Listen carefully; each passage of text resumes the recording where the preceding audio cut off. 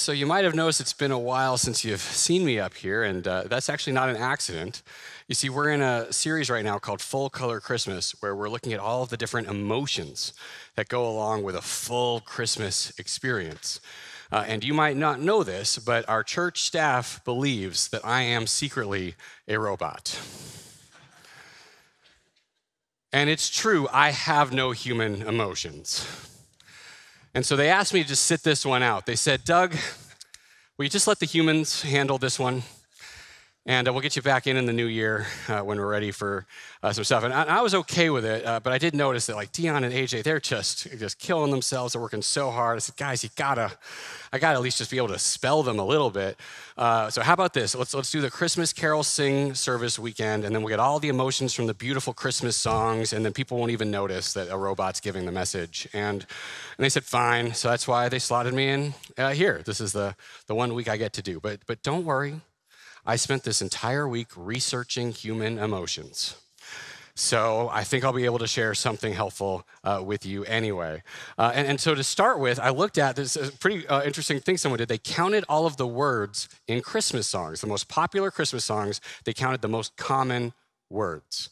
Uh, and I'll, I'll, show you the runners up. These are the second through fourth most common words in the songs that we hear and sing at Christmas. And I don't know about you, but these, kind of these kind of pass the, the sniff test for me. You know, uh, we sing a lot at Christmas about things that we want, what we want for Christmas, and it's apparently two front teeth and a hippopotamus uh, for some reason. Uh, uh, or as the Queen of Christmas herself, Mariah Carey, reminds us about twice an hour these days, all she wants for Christmas is you. And then she follows it up with saying the word baby about six times, which brings us to the fourth one. I hadn't thought of it till I saw the list, but we really do say baby a lot in Christmas songs. It, you know, Santa baby, uh, that, that, comes up a lot.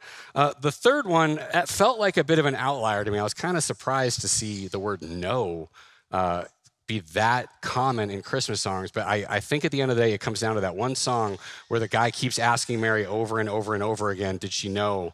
Did, she, did you know this? Yeah, did you know that? And, and you finally just go, She knew, all right. She, the, the angel told her. Didn't have to ask her like 20 times in the same song. So I think, I think that one song probably threw off the, threw off the count there. Uh, but now that we've talked through the second through fourth, I want to give you a chance.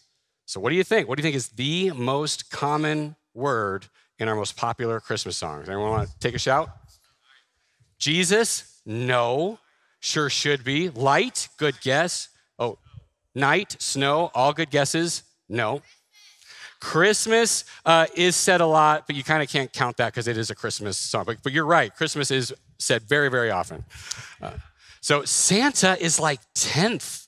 I'm, I was shocked at how low Santa is. So again, all great guesses. All the things you say are, are definitely in the list. Here, all right, here it is. The number one most common word is a little unexpected to me. Merry. Yeah, I, when you hear it, you're like, all right, it makes sense.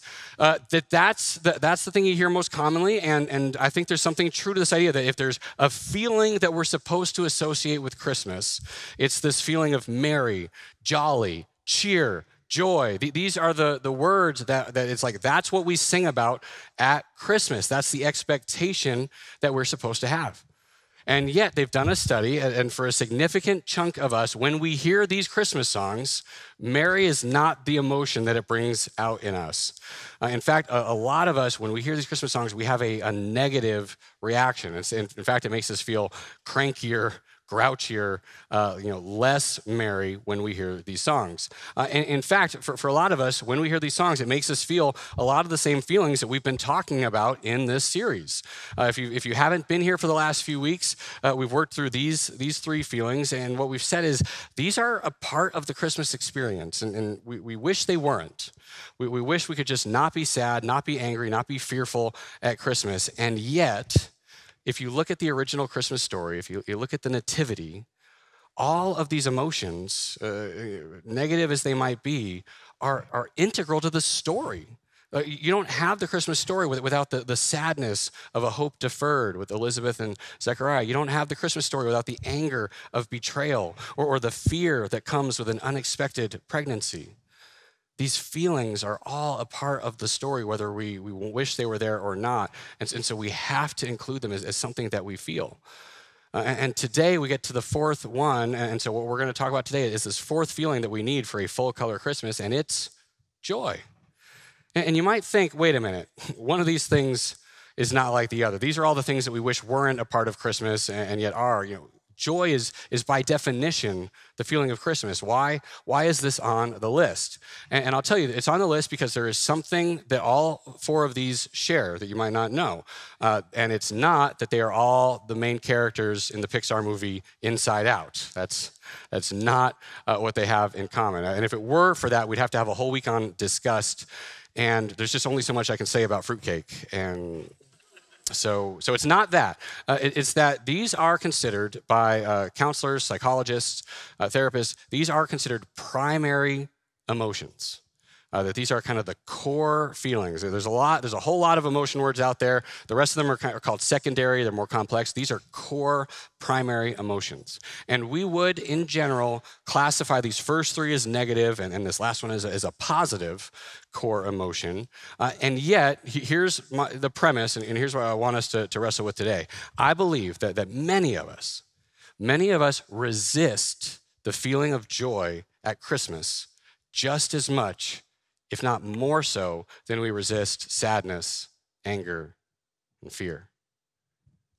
That's my premise. That, that's what I, I, think is going on. And, and I'll tell you that I, I came to that because I, have noticed how joy plays out in my own life. Uh, some of you might know that I am uh, an Air Force kid, uh, and specifically, both of my parents were Air Force officers. It's one thing to have one parent who's in the military, but when you have two of them, our family was run with military precision and efficiency.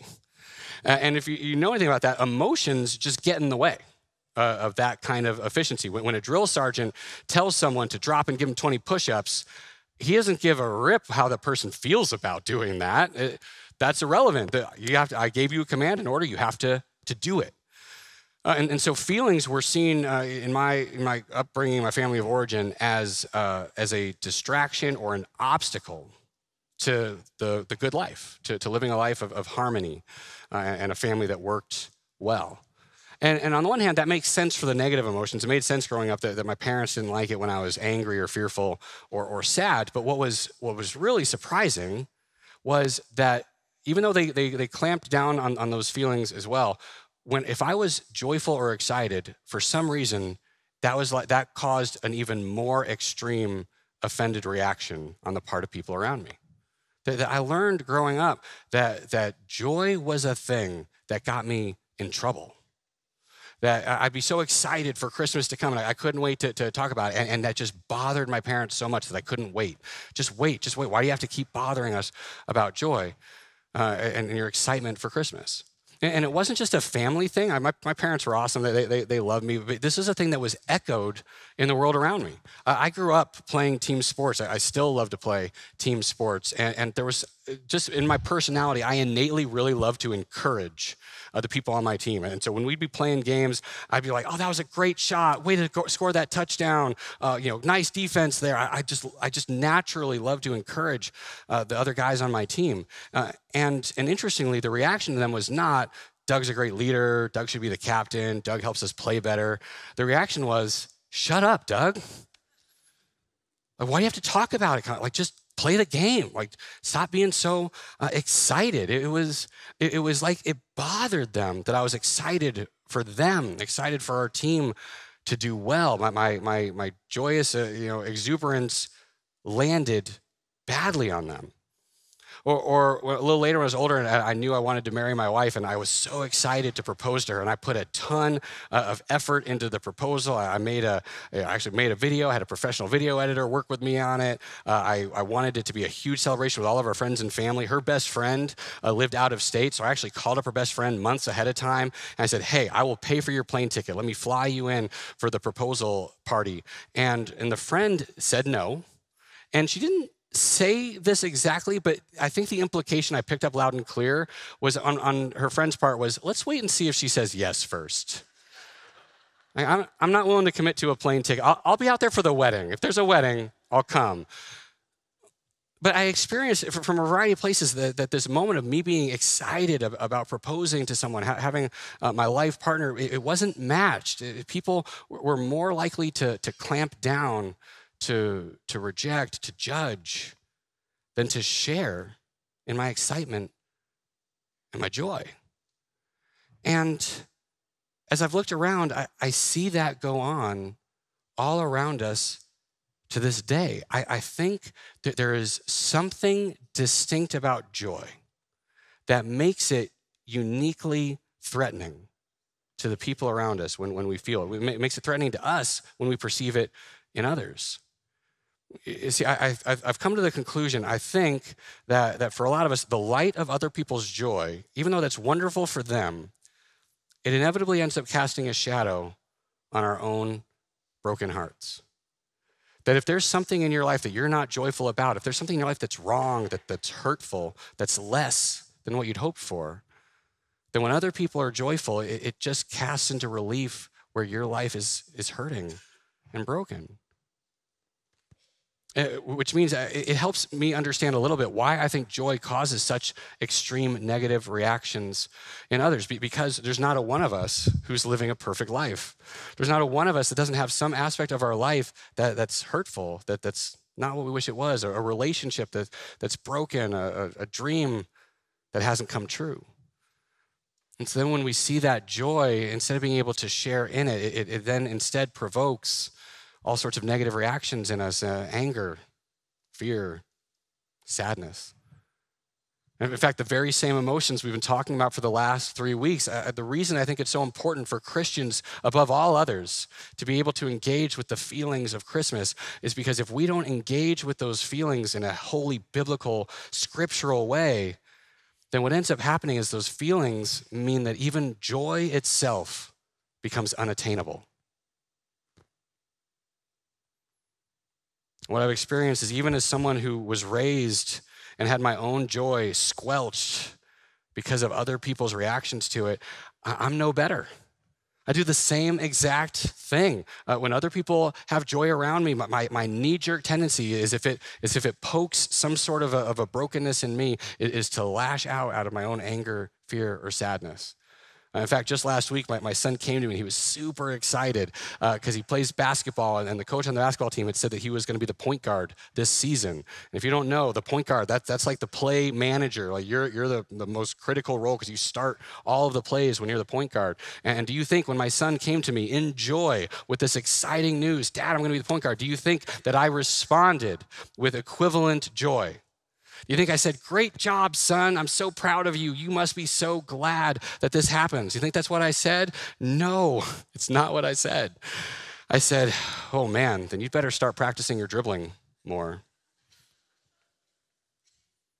I, met his joy with, with, with criticism and, and, judgment. And, and, and, what I think is going on as I reflected on it is uh, it's because that news, it provoked fear in me.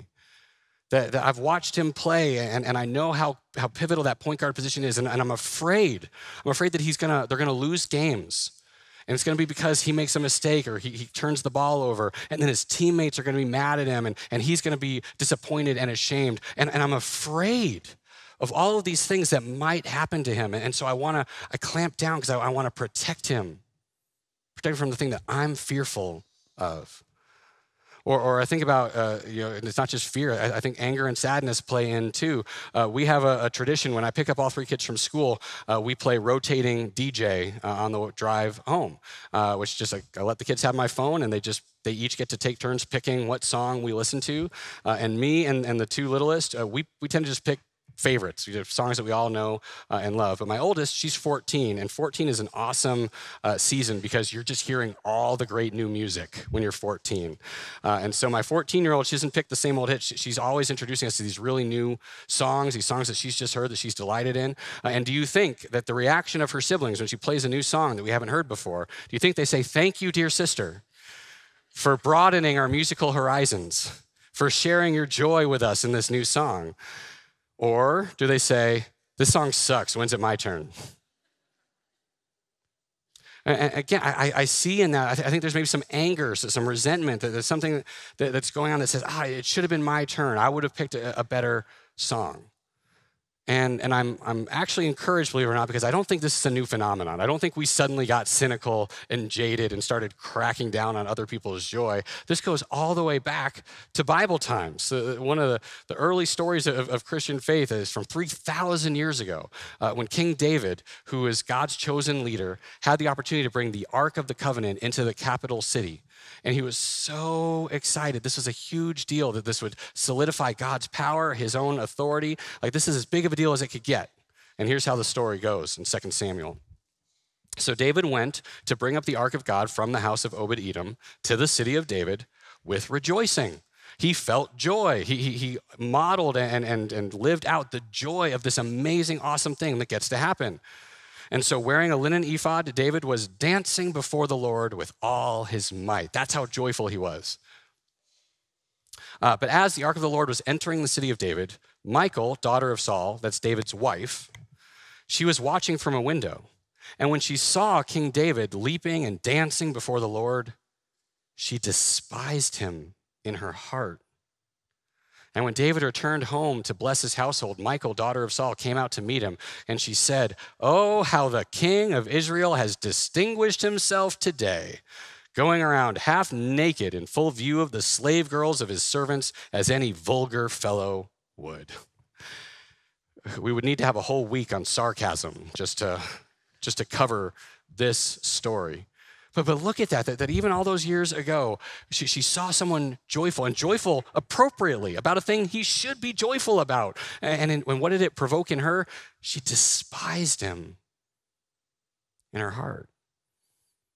And, and I think that that matches probably a lot of our own life experiences. It certainly matches mine. That whether you yourself are naturally joyful or not, whether you're more prone to, to some of the negative feelings, uh, when we do have joy, it, it seems to provoke despising, it seems to provoke anger and fear and sadness. And, and, and not just people like uh, you know leaders uh, in the kingdom of God. I, I see it just amongst church culture in general. That, that there's this, this fear that, that if we were ever to actually be joyful, God Himself would punish us for it. That God is the ultimate joy killer, that, that He's waiting for, for us to get too excited about something so that He can then cruelly and ironically teach us a lesson. I'll teach you to get excited about this. You should just be focused on the things God wants to be focused on, which is righteousness and, and sternness and, and living holy lives with no fun at all. I, that, that's certainly a message that I internalized growing up. I, I, don't think any, any preacher ever said you shouldn't have joy uh, as a Christian. In fact, I, I think they said the opposite. They said you should. And yet what was lived out was don't get too excited. Don't, don't, don't get too into the singing. Don't clap during church. And this is a great church here at Pathfinder. We clap during church, and I love it because that's a joyful expression. But, but for so many of us, what we heard, what we learned, what was, what we, was the air we breathed, was that joy is untrustful. Joy is a thing that you, you shouldn't give into because one way or another, the other shoe's going to drop. Someone's going to crack, clamp down on it. God Himself is going to ruin your joy. And yet, let me proudly and defiantly tell you that that is not God's character. That is not how the Bible itself describes God. That may be how, how religious people feel about that feeling of joy, but God Himself is not the joy killer, He's the joy bringer. He's the one who wants us to have joy. And, and that is nowhere more obvious and more clear than in the Christmas story itself. So let's look again at Luke chapter 2. We've been working through the story little by little over the last few weeks, but today, today we get to the climax. Today we get to the point of all of this. You see, there were shepherds living out in the fields nearby, keeping watch over their flocks at night. And an angel of the Lord appeared to them, and the glory of the Lord shone around them, and they were terrified. But the angel said to them, Do not be afraid. I bring you good news that will cause great joy for all the people. Like there it is. Why? Why all this mess and nonsense with wise men and, and, and donkeys and, and going, you know, across road when you're nine months pregnant? Like why all of this stuff? It's for joy. That this is the point of all of it. It's a common thing to say in here these days that, that Jesus is the reason for the season, and, and that that's mostly right, but, but it's, it's stopping a step too short. That the reason for Jesus is joy That, Jesus didn't come for his own sake. He's not actually the end goal of, of, this, of this Christmas season. It's that in the coming of Jesus, God wanted you and I to have joy. Joy is the reason for the season, and Jesus just happens to be the method. That's how God did it. It's because the angel went on to say, Today in the town of David, a Savior has been born to you. He is the Messiah, the Lord. And this will be a sign to you. You will find a baby wrapped in cloths and lying in a manger. And suddenly, a great company of the heavenly host appeared with the angel, praising God and saying, Glory to God in the highest heaven, and on earth, peace to those on whom his favor rests. And when the angels had left them and gone into heaven, the shepherds said to one another, Let's go to Bethlehem and let's see this thing that has happened, which the Lord has told us about.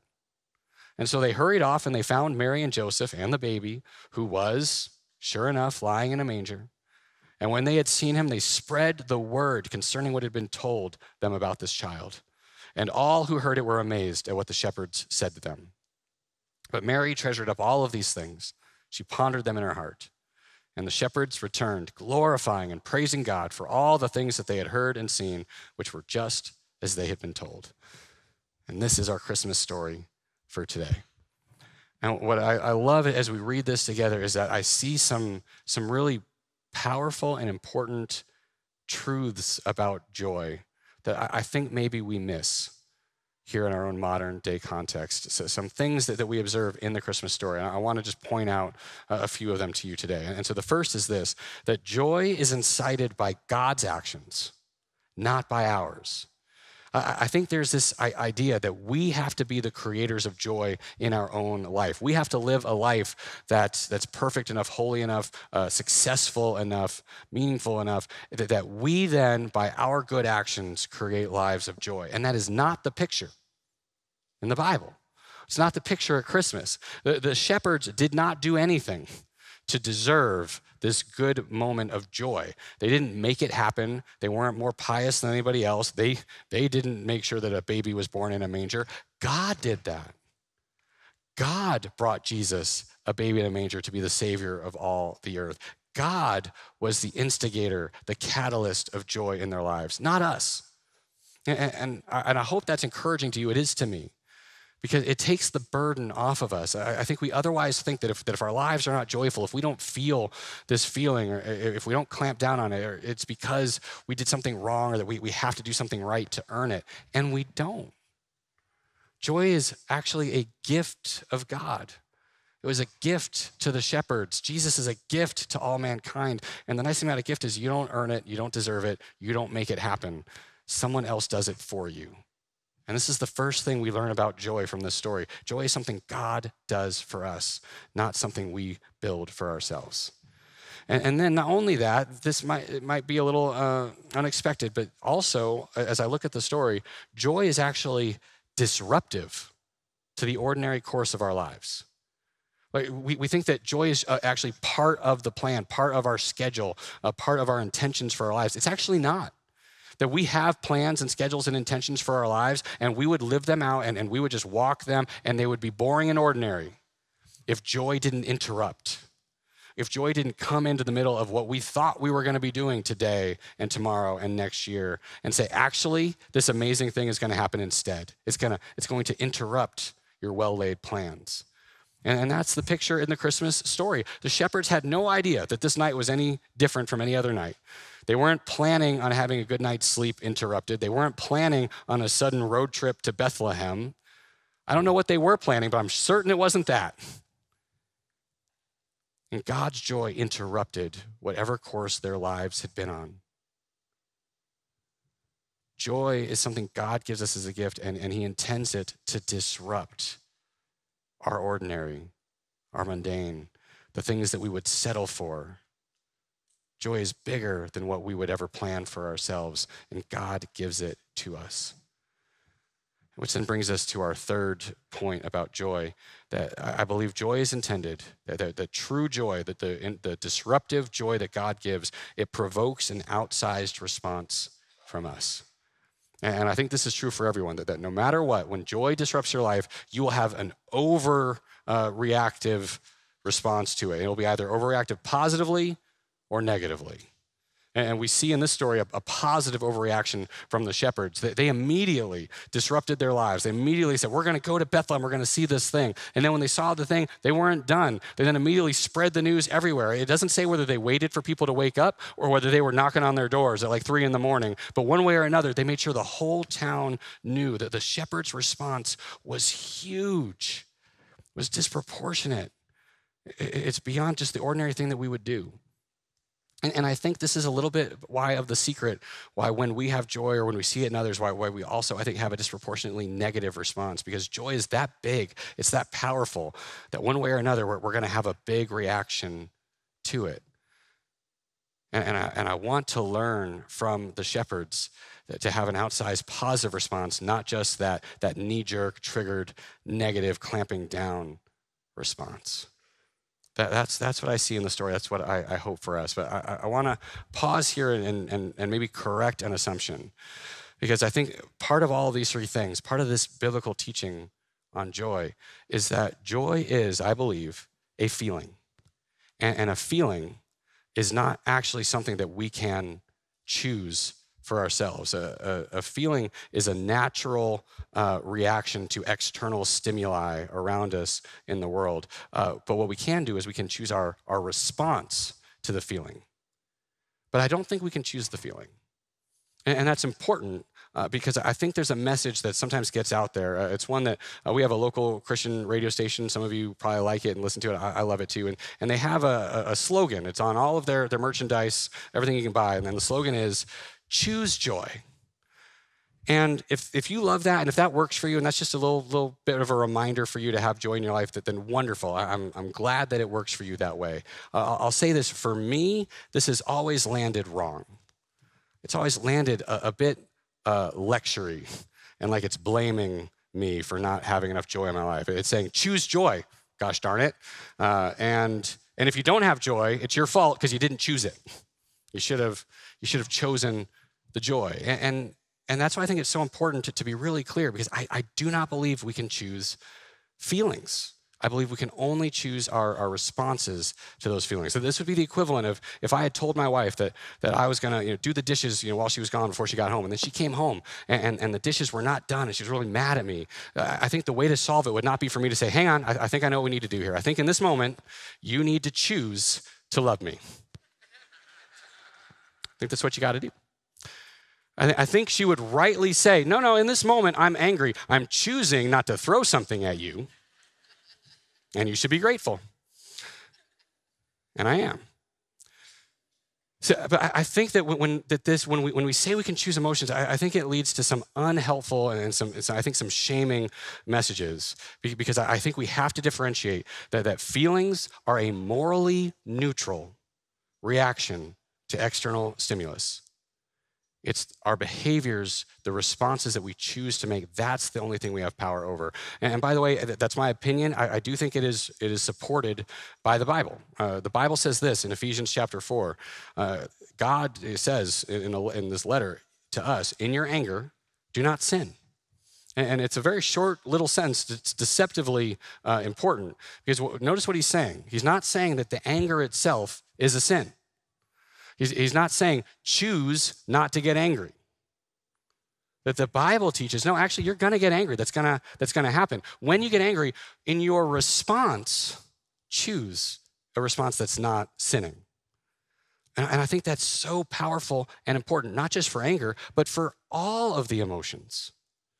Because I think what ends up happening otherwise is that, that we think the, the holy thing to do, the Christian thing to do, is to squelch all the bad feelings and the good ones and, squelching them is not what we're called to do. And in fact, it'd be, it'd be harmful if we did. If something sad happens in your life, if you lose someone or something important to you, it, it would, be, it would be gross not to feel sad about that.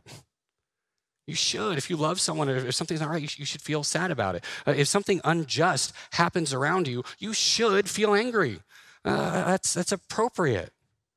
If something scary or fearful happens, guess what? It's really important for your life that you feel fear uh, when, when you should. If, if a tiger suddenly bounded onto this stage and you didn't scatter in fear, I'd say there was something wrong with you.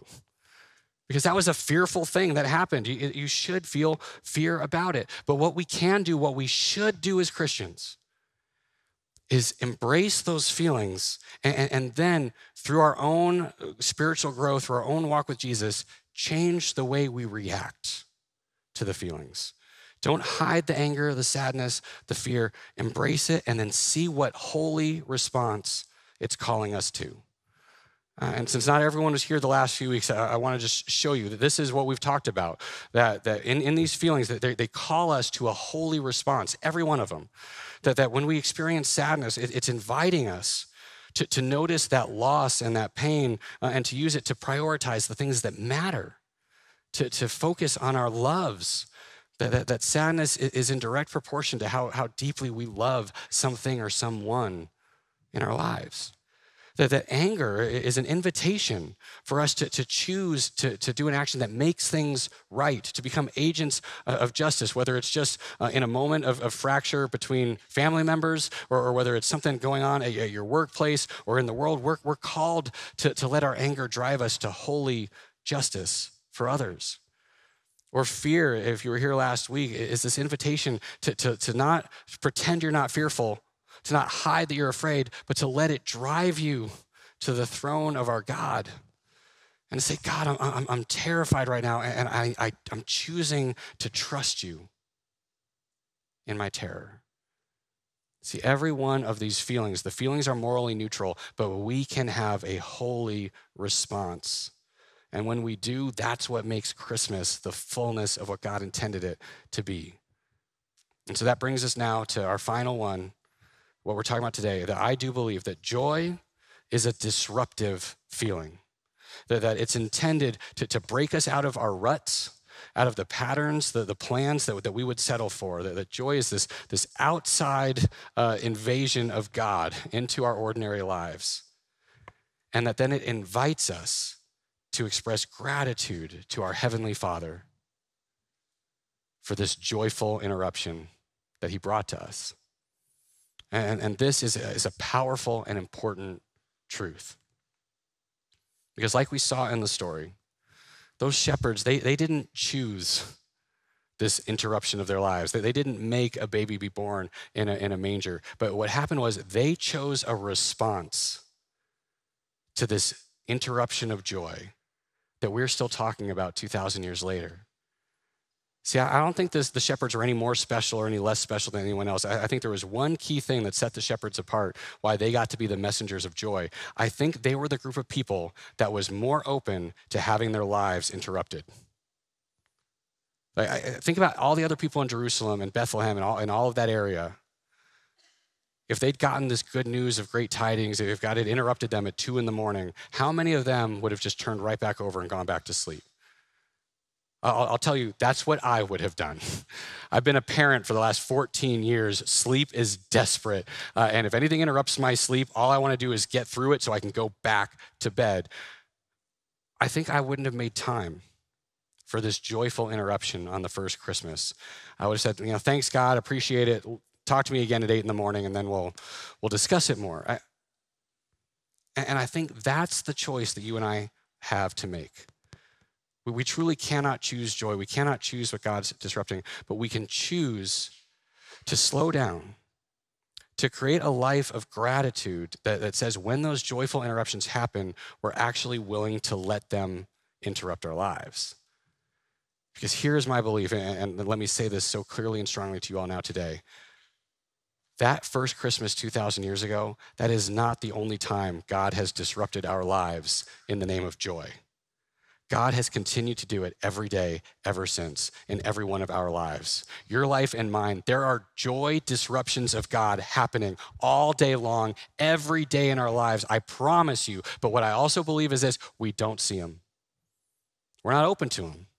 I'm too busy to have any sort of joy interruption. I've got, I've got places to get the kids, I've got practices to go to, I've got deadlines to meet. And, and so it's like God is bombarding us with joy all the time, and we just don't even know it because we've just got the, the focus on, we're in the tunnel, we're just trying to get through the day. We cannot choose joy, but we can choose gratitude. And that's something that I've been working on for the last several years just to share with you today as, as we close. That, that you might have remembered from years ago, I, I used to talk about that I did not know how to experience joy anymore that, I, I, would had it beaten out of me so much in my upbringing that joy was threatening, joy was scary. I'd clamp down on all of the feelings. So much so that, that when people would ask me, good hearted people who loved me, who cared about me, they, would say, What would bring you joy? And, and my answer was, I, I can't even answer that question. I, I don't even know how to engage with it at any level. And, and so the change I made, I made about six years ago, and I made it under duress and coercion because important people in my life said, You're miserable and you're making us miserable. So please do something about it. And so the thing I did uh, on, on advice and reflection was I started gratitude journaling.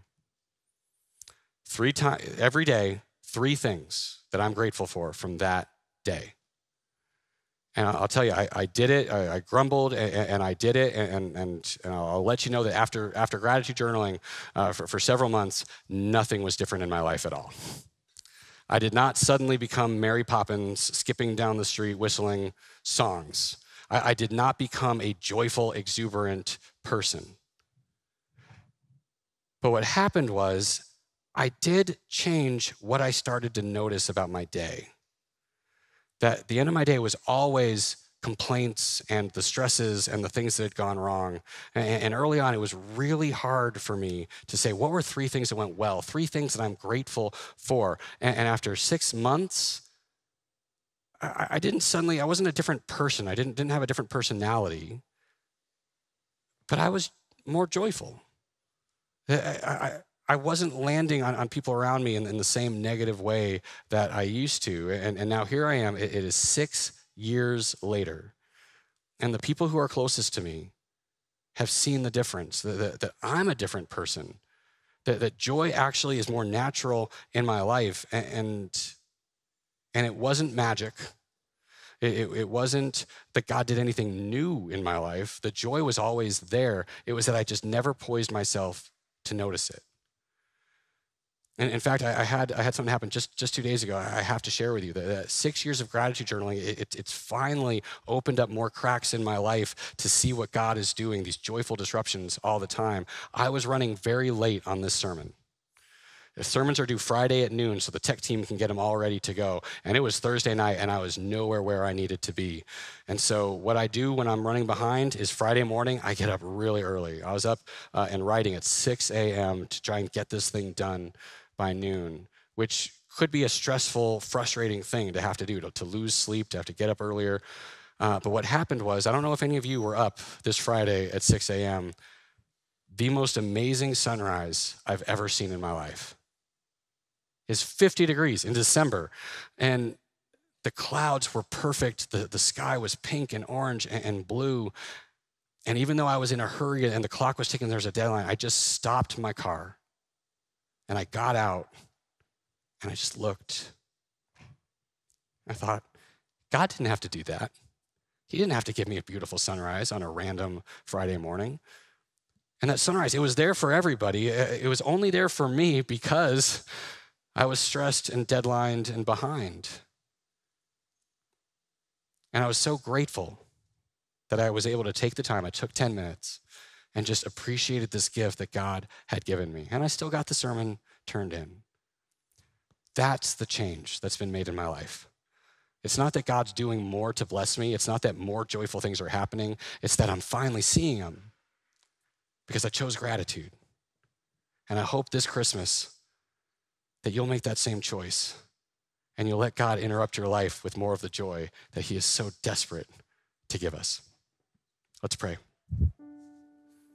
Lord God, thank you that you're the initiator of all these wonderful things, that you are the one who brings joy into the world, not just through your son 2,000 years ago, but, but here now, every day of our lives, you're lavishing your love and delight on us. And so, Lord, here now, I pray that you would help us lay down our own resistance. The, the, the, lessons that have been beat into us that, that joy is unsafe, joy is, is too disruptive, joy is too big. Lord, I pray that you, you'd help us open up some cracks and let your joy come through. And so, Lord, help us to make choices that slow our lives down, that help us be more open to interruption, choices that help us focus on the things that there are to be grateful for every single day. And Lord, use it to magnify our joy here and now in this Christmas season. We pray this in your holy name. Amen.